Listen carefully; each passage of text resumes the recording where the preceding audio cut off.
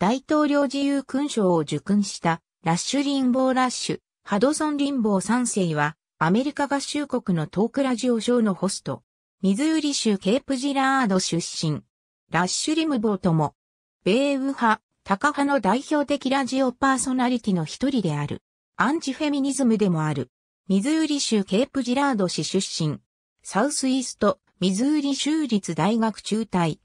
1994年の米中間選挙における共和党勝利の要因を作った一人。主に保守層に支持されているが彼の言動に対して拒否反応も多い。彼のトークショーは保守、右派傾向が顕著であり、リベラリズム、フェミニズム、環境保護論者、左派政治家、知識人らに対して辛辣な批判を行っている。特にフェミニズムを非難しておりそのことに関して、フェミナチという語を発案したとされているが、リンボーはこの語自体は友人である。カリフォルニア大学経済学教授のトム・ヘイズレットが考案したと述べている。教養のある知識人というスタンスではなく、生活感に根ざしたリベラル嫌悪による罵倒や誹謗中傷を売りにしている。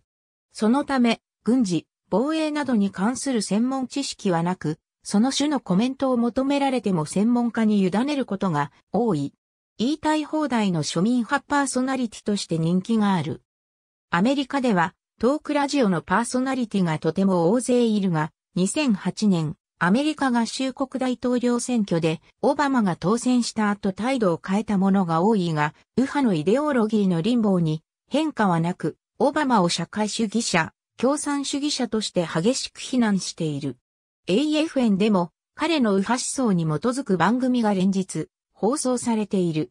また、2003年には、自身が薬物中毒であることを告白し、2006年には薬物不正取引で逮捕されている。2020年2月4日、連邦議会の一般教書演説に招待され、その最中にドナルド・トランプ大統領より大統領自由勲章を授与された。